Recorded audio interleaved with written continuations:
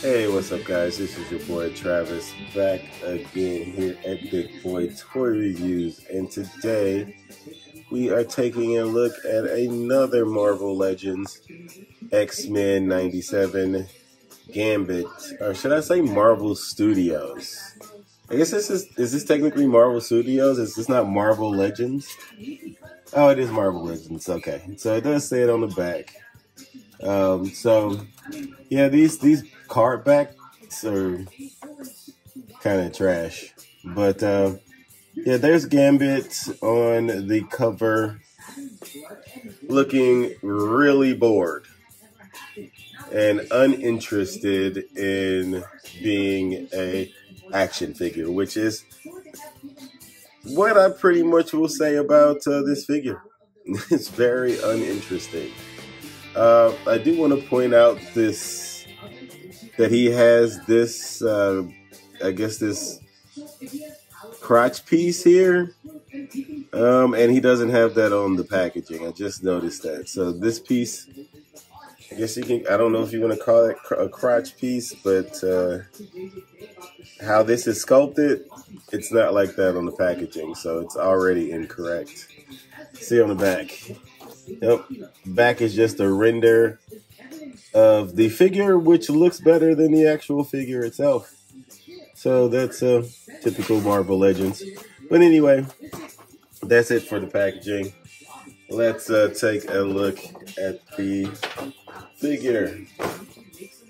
Um, he is decent. Um, again, very shiny in places that aren't typically shiny, but then not shiny in other places. Um, well, I don't know. Maybe he is shiny in the right places. Um, they keep using these legs, man. I, don't know. So let's let's let's start off here. We got we got no pins here, and we have pins here. So this is these legs aren't new, I suppose. Um, I have no clue if this is the same body that previous Marvel Legends Gambits used. Um, I'm not quite sure if the jacket is the same. I know this is a new head sculpt, I believe. I don't know if the hair is any different, but I do like it. I do actually like the hair on this one. Um, there's not much to it. Um, the let's get a closer look here. Um, so I do like, I do think the painting is done well here, even though it's not accurate to the source material. Obviously, this paint is different than this color. These two colors are completely different. I don't know if it's coming off on the camera, but these are not the same colors. Um, the paint on his leg here, the pink paint, is a bit rough. Um, I'm not quite sure what is going on.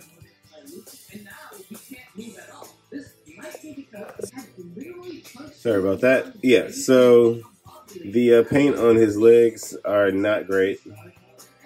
Um, it's kind of running in a lot of areas. There you can see it up close. They did not paint the peg. Why? I don't know. Because Marvel Legends. Same on this side, and it's. I think the paint is no, it's still rough. So that's not great. Um, I do like his boots. The boots are fine. Um, I guess it's pulling off that metallic look. I guess. Um, the the piece that's this um, piece that's going around his chest, I think that is done pretty well. I don't. I would. I want to say that's probably molded and not painted because this down here is supposed to match that and this looks much more metallic than this. This doesn't look metallic at all. Um, as far as his head sculpt is concerned, um, he's okay. I mean, the head, the face looks all right. The paints are not great, as you can see. You see a lot of the skin tone on the mask. So that's not great. More on this side than this side. So apparently they can do it. His stubble looks less like a an adult and more like he's um, I don't know 15. So his little stubble here is not great. Uh, the eyebrows are done nicely. You can barely see that his eyes are red. Um, the ears are painted, not great. Yeah, they're they're fine. You can kind of see the black peeking through. They probably could have used another coat. Um, this one's really messy. The hair sculpt is really cool though. I like the hair sculpt. The hair is done really nicely. I will admit that I really like the hair sculpt. Would have looked a lot better with some with like a um, like a dry brush or some kind of uh, shading. But the sculpt itself is really good. Seems a little big though. Um, he's using a ton of hair grease if he can get his hair to stay like this. Just saying. Um, the jacket is very uninspiring. No shading anywhere. No shading in the arms. Very plain down here. Luckily, it's somewhat of a soft plastic, so it doesn't hurt most of the poses that you would probably put Gambit in. Uh, the hand paint is clearly is clearly uh, cast in black or sculpted in black, or excuse me, it's clearly um, flesh painted over black, I should say. Um, and this one, I had I, I had a few to pick from, and so I tried to pick the one with the best hand painting, and this was the best one they had. Same on this side. Got mold lines in it, mold lines. So I always hate that. Uh, but the jacket's very plain, very very plain. Um, but uh, yeah, that's it for aesthetics. I do think this is a bit too shiny. Um, if I were to take a look at other uh, the other gambit that I have here that I'll show you later in the comparisons, I'm pretty sure this is also supposed to look metallic.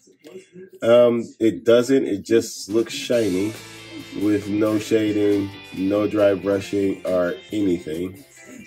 And they still charge you $27 for these figures. So there you go for that. Uh, there you go with that. So that is it for aesthetics. Let's move on to accessories. Alrighty, so here we go with accessories. Where are we not focused?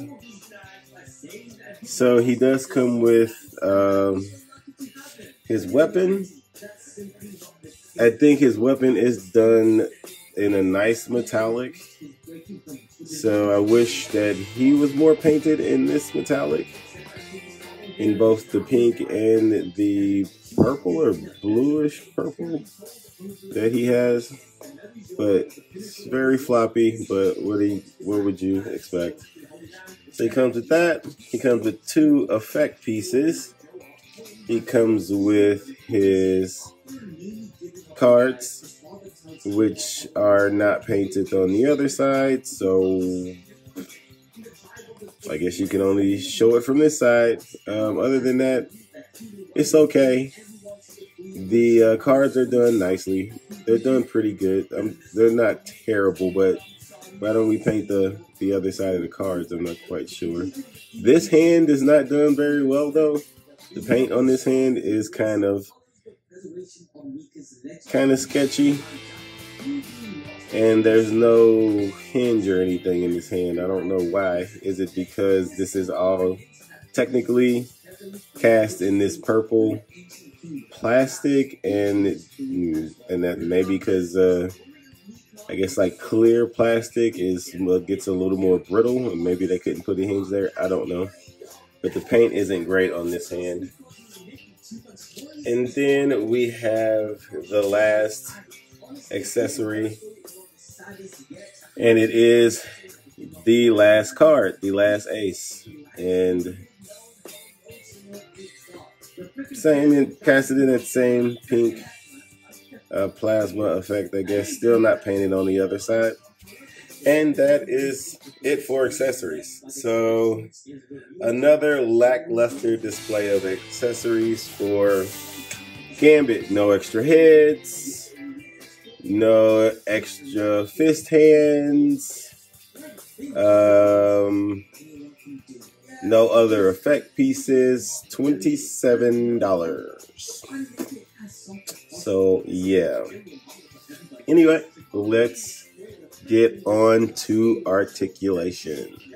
Alrighty, so as far as articulation goes, you can look up that far. This, the way that his head sits on the peg is really off putting.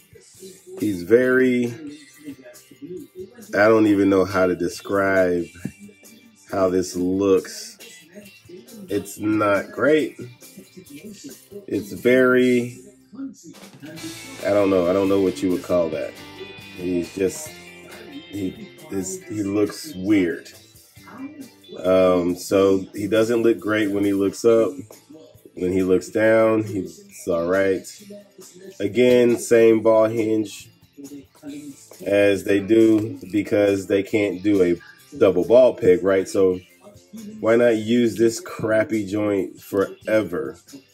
Um, the only reason I think you get side to side because his head is wobbly as fuck because of the way it sits on this peg. It's way it sits too high, and so he's just a wobbly mess.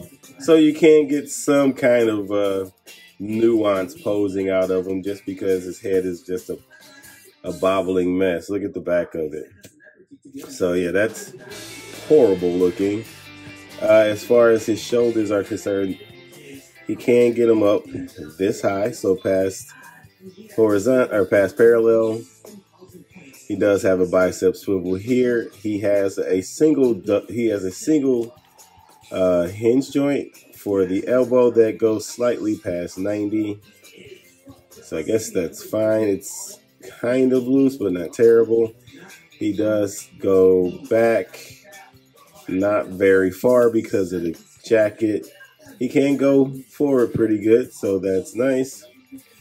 Um, he has a weird uh, waist twist because he doesn't have a belt, so he gets really disjointed looking. He can turn his ass all the way around to the front.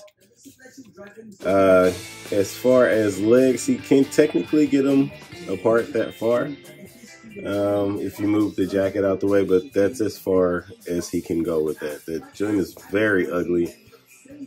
Clearly, clearly looks very old. Like like this is a old um, from the from the waist twist down is just an old Marvel Legends uh, um, sculpt.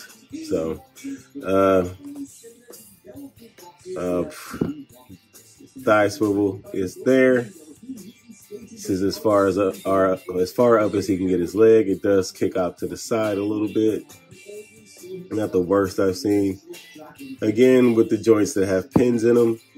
His his um his calf, this part of his leg, bottom part of his leg, is way too long. It's it is noticeably way too long um, in comparison to his thigh. So that's kind of off-putting.